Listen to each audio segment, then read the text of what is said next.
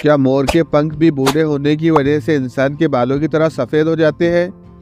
अगर ऐसा नहीं है तो आखिर क्यों मोर सफ़ेद होते हैं? अगर आप सोच रहे हो कि कोई और नस्ल हो सकती है तो आप गलत हो। दुनिया में मोर की तीन स्पेशीज पाई जाती है। ऊपर फ्लैश हो रही लिंक पर जाकर आप देख सकते हो, जिसमें हमने मोर की पूरी ज़िंदगी के बारे में बताया है।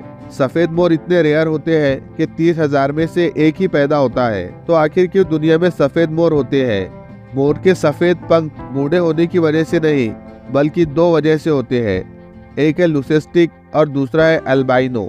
अल्बाइनो, यानी मिलेनियन की क्वांटिटी कम होने या मिलेनियन ना होने की वजह से होता है। अगर आपने हमारा ब्लैक पैंथर वाला वीडियो देखा होगा तो आप जानते होंगे कि कैसे मिलेनियन की क्वांटिटी ज़्यादा होने की वजह से एक लेपर्ड काला हो जाता है। वैसे ही जब मिलेनियन की क्वांटिटी कम होती है तो मोर सफ़ेद हो जाता है। दूसरा है ल्यूसिज्म जो कि जेनेटिक म्यूटेशन की वजह से होता है। ये सिर्फ़ इंडियन पिकॉक के साथ ही होता है।